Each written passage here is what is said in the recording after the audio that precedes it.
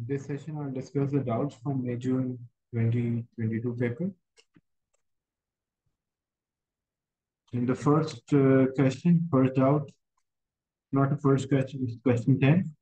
Uh, man is, uh, a mass is lifted from a rest to the ground, uh, on the ground to Y, and there is no air resistance. P is the increase in gravitational potential energy, g and Q is a kinetic energy of mass at Y. So when kinetic energy of a mass at y, what does it mean? It means it is still moving.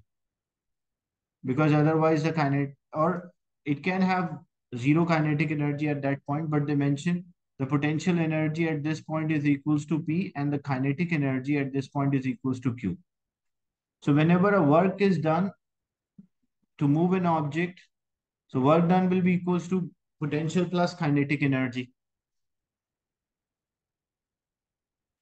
Why here the work done is potential plus kinetic energy? Because this object is being lifted and it is also moving. So which expression is equal to mechanical work done? Because when we did the work here, we, we move this object and we lift the object or we are lifting this object. That's why it should be a sum of the potential plus kinetic. So P plus Q.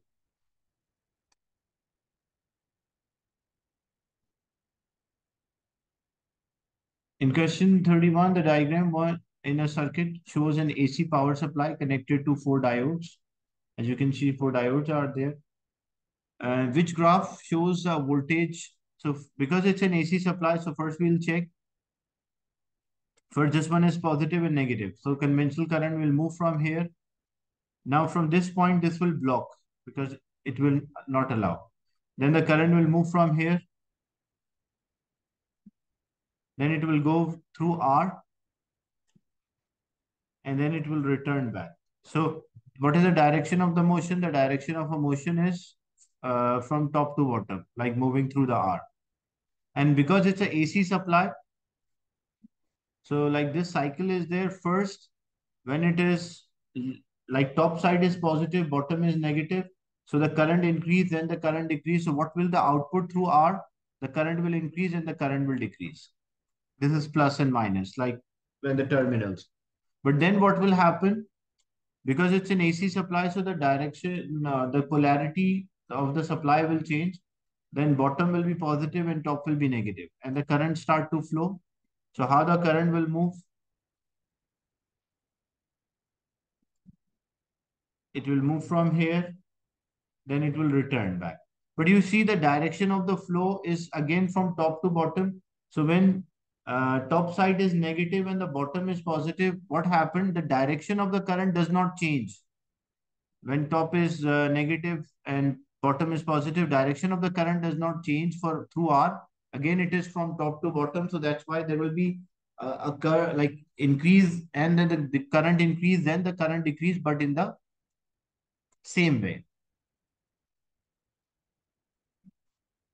Then if we change the terminal again, like positive and negative. So same way when positive and negative, the diode will allow top to bottom. Then when it is negative and positive, like negative up and positive down, again the diode will allow the current from top to bottom. So the current through a like the current which diode allow is always in one direction and the value of a current is decreasing, increasing and decreasing. That's why option B is the right answer.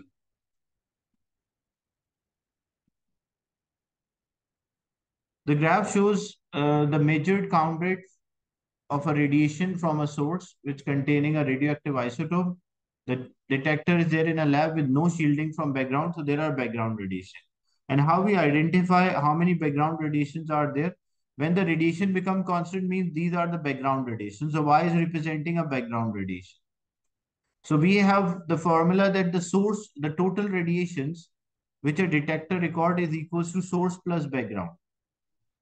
So the total radiation like TR is equals to source plus background. The total radiation is equals to X, as you can see here, X. So total radiation is X, background, a source radiation we don't know, and how many are background, that is Y. So we can say the source radiations are equals to X minus Y is equals to the source radiation. That is uh, in terms of uh, X and Y, we got the source radiation because the total reading is X. So total reading is a sum of source plus background. And the background radiations are Y. So source radiation will be X minus Y. Then what will be the reading after half-life? After one half-life, the source radiation will become half. So source radiation will be X minus Y by 2. That is source radiation. But detector will record both source plus background. So what will the total reading? Because the question is, what is the measured count rate after one half-life? So what is the total reading on the detector? The total reading of, on the detector is source plus background. So source radiation will become X minus Y by 2. And the background radiation are Y. Now we simplify this. We take 2 as an LCM. So it will be 2Y here because 2 is an LCM. So x minus y plus 2y by 2. So it will become x plus y by 2. So total readings will be x plus y by 2. That's why D is the right answer. So idea is that, that first we work out how many source radiations are there as we have the total reading in the beginning, which is x and the background reading are y. So source radiation will be x minus y. Then after half-life, the source radiation will be half, which will be x minus y by 2. But we don't need source radiation. The question is what is the count rate means the total reading. The total reading is source plus background. So we substitute the value of the source after half-life and the background still y. So when we simplify, it will give us x plus y by 2.